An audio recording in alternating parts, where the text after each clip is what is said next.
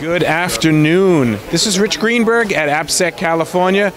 Got to wear the shades because there's just so much sun here in January at the beach. And I'm really privileged to have Colleen with us. Uh, she's a CISO, has been working with startups for a couple of years. And uh, welcome. Thank you, Rich. Um, so I'm actually not quite a CISO because in a lot of these startups they are reluctant to use that term. That's okay. Um, so technically, the uh, it's head of security. Um, I was head of security over at Twilio, and um, after that, Coupling went public, and we were able to scale. Um, jumped over to Segment, um, did it all over again, but also as head of security, not CISO and it's awesome that you invited me to come down here and speak on the panel. I really appreciate it. Well, glad to have you. Do you like it here? I love it.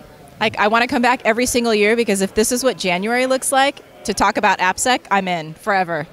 Yeah. What about the quality of the conference? Any thoughts? Yeah, there's a lot of really great speakers. Like it ranges from having security leaders talking about more theoretical, like how do you get culture in line, executives in line, down to more nitty gritty talks with individual engineers about how they've been able to create um, the mechanisms to make things work in their own organization. So, how have they been able to embed tools into the software development lifecycle? How they've been able to uh, use tools and automation to, to really extend the offering that they have.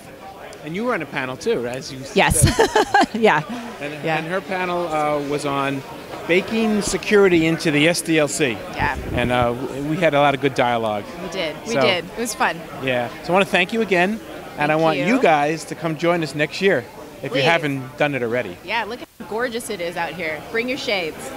All right. See you at AppSec Cali 2020, which will be the seventh one. Bye. See ya.